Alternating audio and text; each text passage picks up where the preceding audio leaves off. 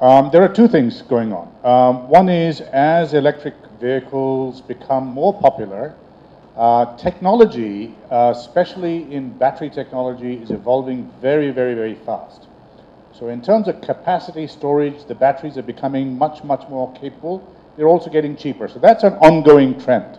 Most of our electric powertrain parts are imported. All right, there's not much that we can buy in India. So the batteries are imported, uh, the traction controllers are imported. The transmission and the motor is made in India. Um, as the volumes grow, um, not just us, other manufacturers who may need uh, components, then localization will make sense. At this, at this volume level, it doesn't make sense. And then a second layer of uh, cost reduction can happen. Um, you all the most, most cities, and you've all heard the Prime Minister's uh, drive for smart cities, right? Um, Hyderabad is putting in a fairly world-class metro. Delhi's already got it.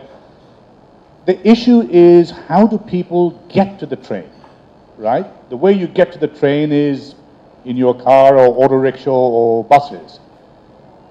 Various cities are looking at putting in feeder services where you get the passenger to the train and when they get off the train, get them from the train to their destination. They're looking at clean vehicles to do that. Otherwise, you really haven't solved the pollution problem. If you've got a whole bunch of polluting vehicles taking people on and off the train, it doesn't solve the problem. So a lot of cities are looking at clean vehicles to actually provide that last mile connectivity for the metro. Um, it's, we are just a provider of uh, a product which is electric.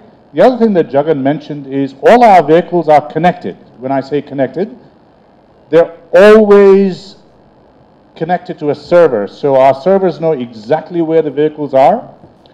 We can then inform whoever's in the car how far they're away from the train. Is the train running late? So there's a lot of information that can flow back and forth, and that's what we use telematics for. Uh, our cars are all telematically connected. And it provides a very unique platform where you can connect a metro to a bus to information can be seamlessly shared is what I was trying to explain. Very important initiative uh, for the year going forward.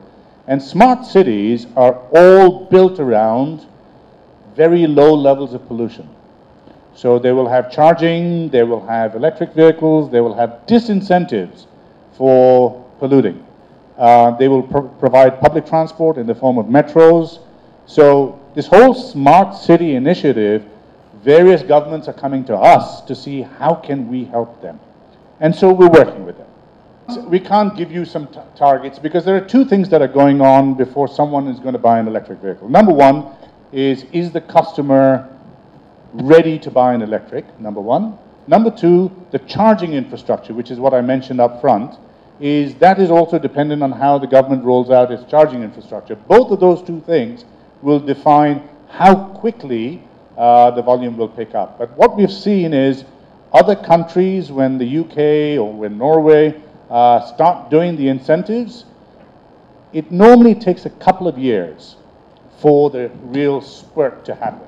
And so I would say over the next couple of years, you can see a significant increase in electric vehicle usage in India technology, its brand, its reach, either from the dealer network, it's also the purchasing power.